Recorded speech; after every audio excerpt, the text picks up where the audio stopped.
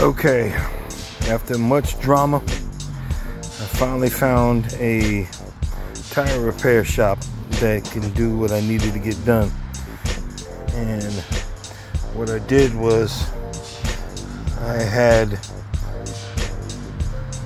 that piece replaced in the cutout and there's a, there's a inner tube in here. Look at that baby. Perfect. This is the this is the bad rim. Perfect. Look at that. Perfect.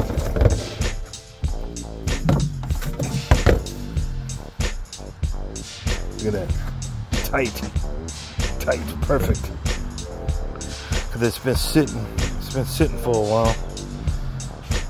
And it probably wouldn't have pumped up, you know, the other way without the inner tube. First official fixed tire is on there.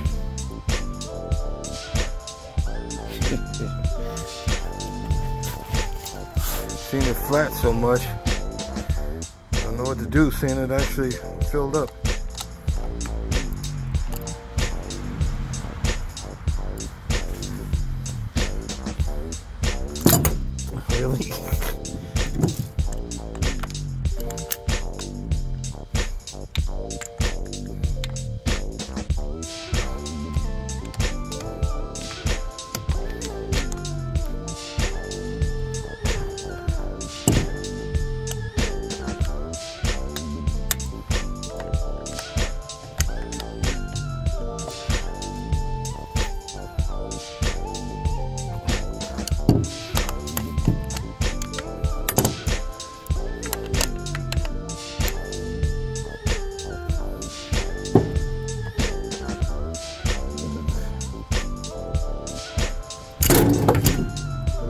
Really?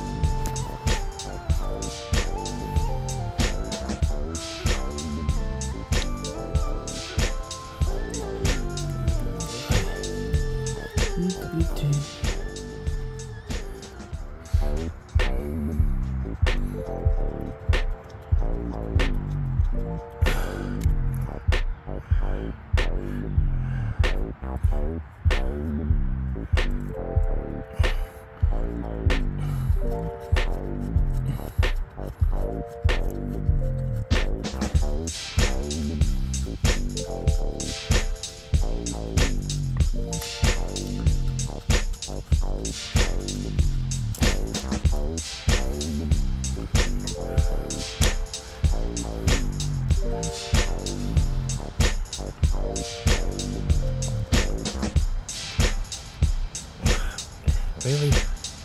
Let's see here. You. Let's see how it goes.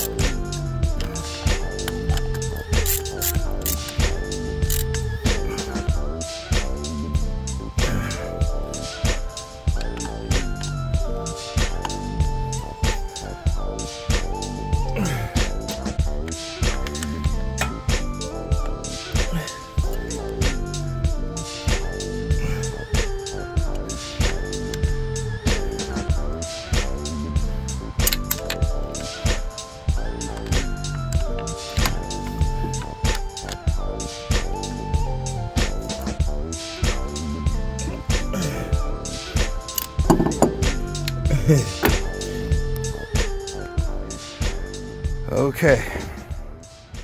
I have that is actually the tire that was bent. And it's got a uh, inner tube in it and it is looking really really good right now. The front tires are fully inflated.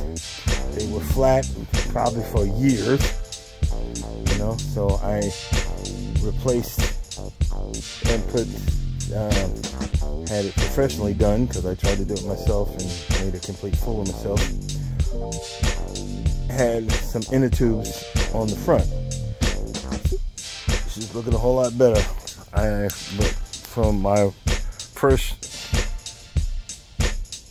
debacle, I got another uh, set of inner tubes coming, so I can get the other side of this tire fixed. I'm gonna do that tomorrow morning. I'm get this off of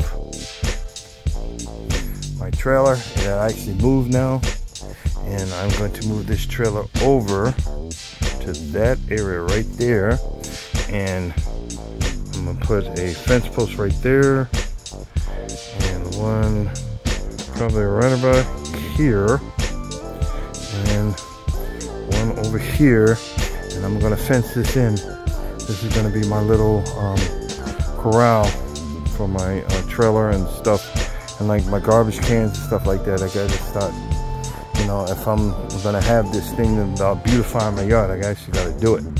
You know what I mean? So that's what we will be doing tomorrow.